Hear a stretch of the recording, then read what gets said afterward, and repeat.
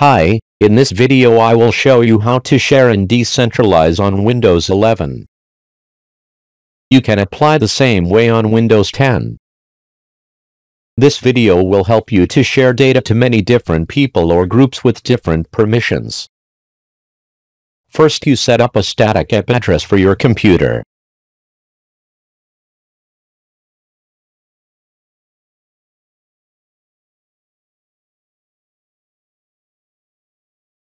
In this example I will create a folder named Data. In there are two subfolders for two different groups. Each group has two people. The first purpose is that the members of this group cannot access the data of the other group. Members in the same group can read each other's data but cannot delete data, cannot edit data. Now I will create folders and share for two work groups. The first folder is data, then the subfolders group 1 and group 2.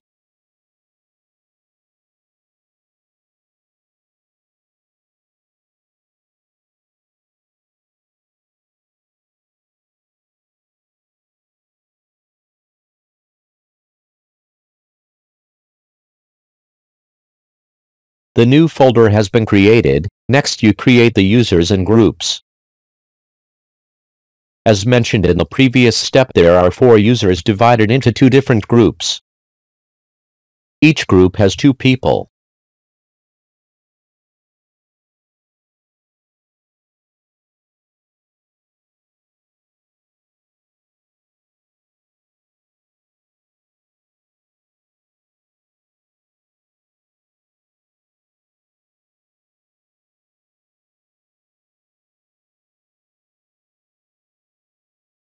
After creating a user you create a group and assign the user to the group.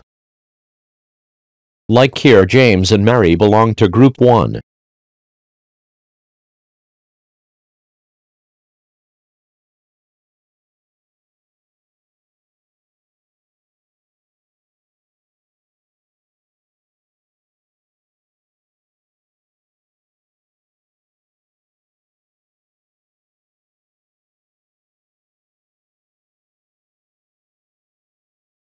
Robert and Jennifer are in group 2.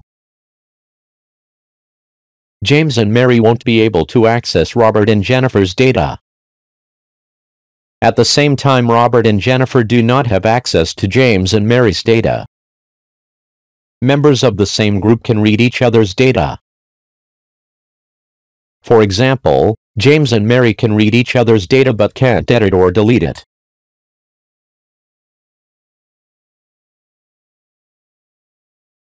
Next, you share the data folder over the network so that computers on your local network can access it.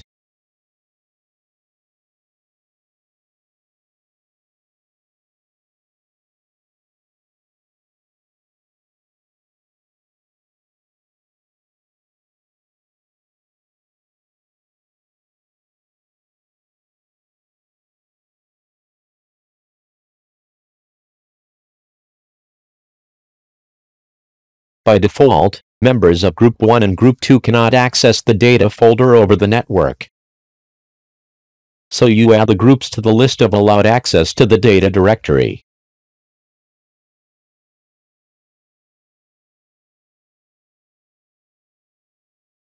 You set read-only permissions to Group 1 and Group 2.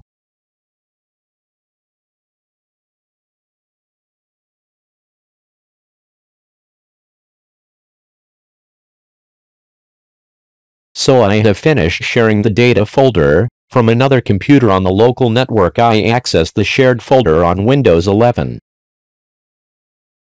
You open the Run window and access the shared folder using the IP address set at the beginning of the video.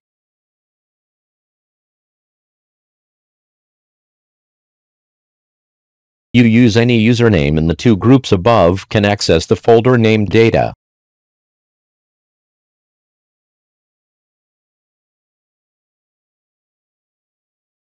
That's it, sharing the folder is done, now it's time to set permissions. In this section we will set permissions so that members of this group cannot access another group's folder.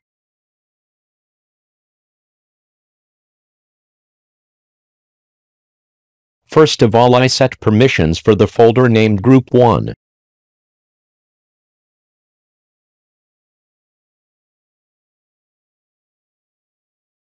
Before setting permissions for each group for the Group 1 folder, delete the existing permission settings.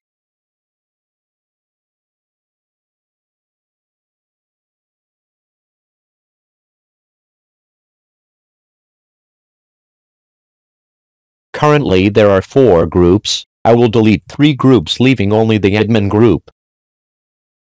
These groups are automatically added to this folder when creating a new folder.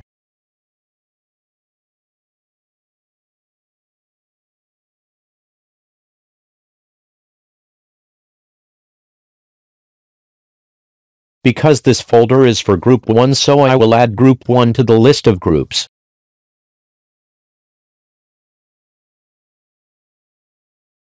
When adding group 1 to this folder, it is only given read-only permission so I will add modify permission to it.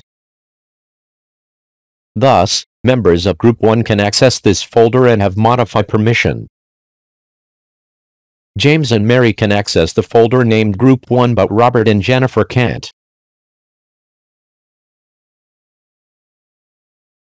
Similar to the folder named Group 2.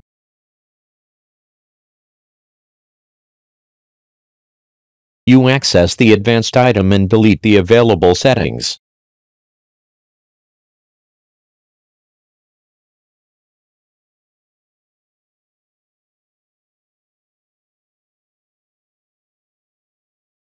Continue to delete groups and leave only the admin group.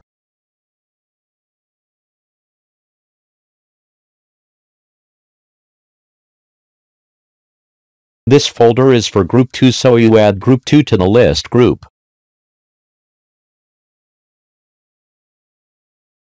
Then you set modify permission to group 2 with this folder. Robert and Jennifer have access to a folder called group 2, but James and Mary do not.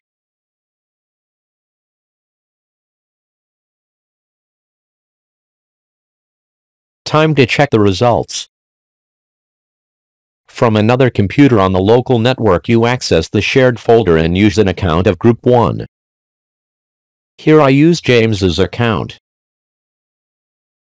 Because James belongs to Group 1, he can only access the folder Group 1 and cannot access the folder of Group 2.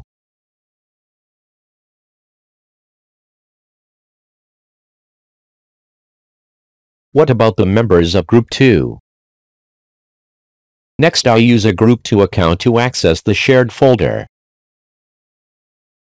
I use Robert's account so I can only access the folder named Group 2 and cannot access the folder named Group 1.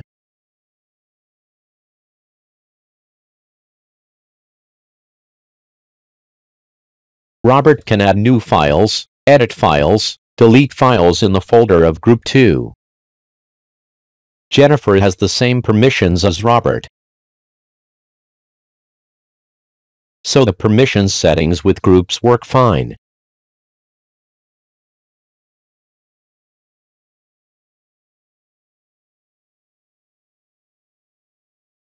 In the next part I will set permissions for members in the same group.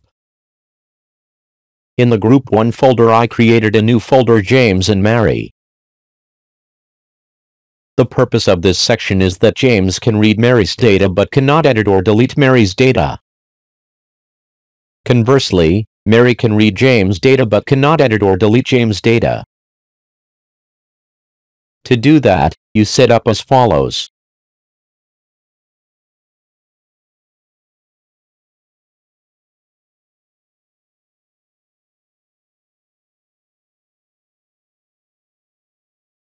You delete the existing settings for the folder named James.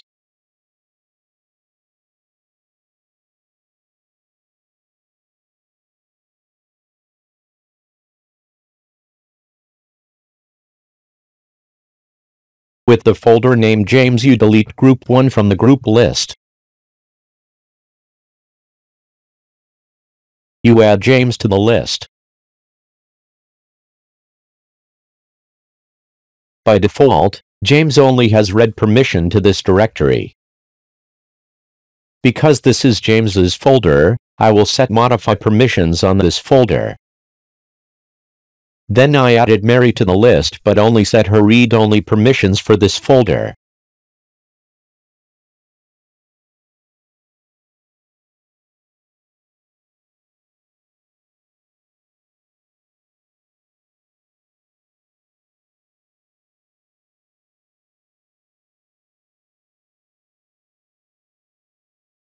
Similar to Mary's directory.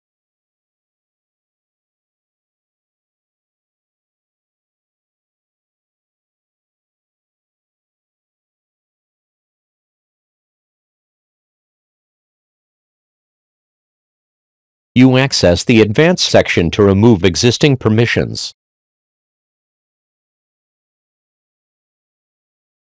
Next remove Group 1 from the list. Then add Mary to the list and set modify permissions to this folder. Because this is her folder. As for James, there is only read permission and can't edit or delete data.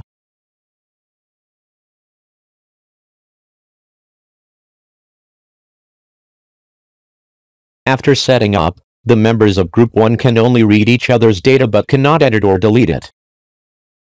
But they can copy each other's data. This way you can exchange data without damaging each other's data. Let's check the results together.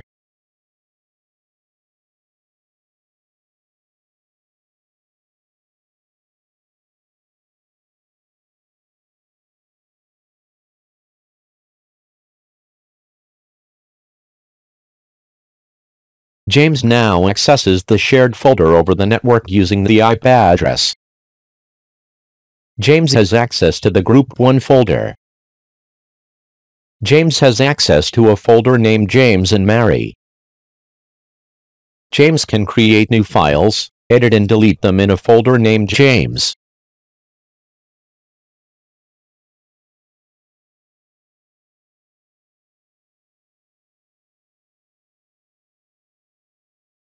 But James doesn't have edit permission with the folder named Mary.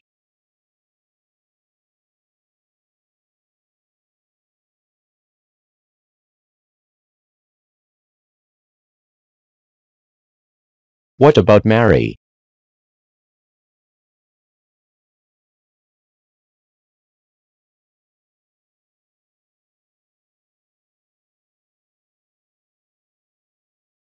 Mary accesses a shared folder over the network. Like James, Mary has access to a folder named James and Mary. Mary has edit permission with a folder named Mary. But Mary only has read-only permission to the folder named James. Above are the basic permission settings when sharing data on Windows 11. Do you like this method? Please leave a comment. Thanks for watching, don't forget to like and subscribe.